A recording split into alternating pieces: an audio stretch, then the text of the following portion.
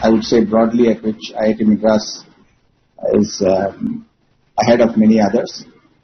One is in our ever-growing footprint in terms of industrial collaboration and research for industry. It's growing at a very rapid rate. Every year, the funding is growing very healthily.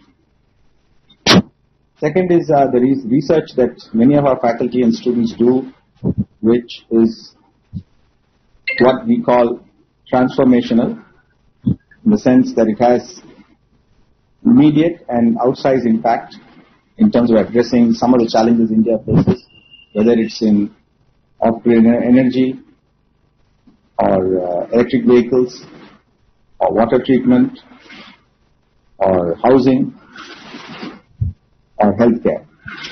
Many examples of this kind.